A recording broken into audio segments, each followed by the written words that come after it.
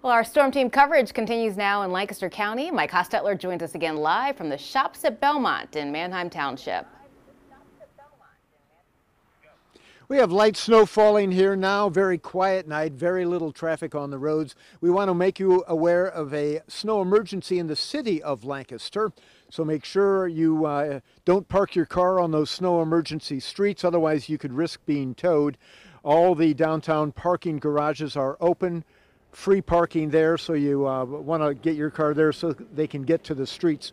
Also, one other note to pass along Red Rose bus service on Tuesday will not be operating. Red Rose bus service and access will not be running on Tuesday. That's the scene from here in Lancaster County. Back to you. All right. Thanks, Mike.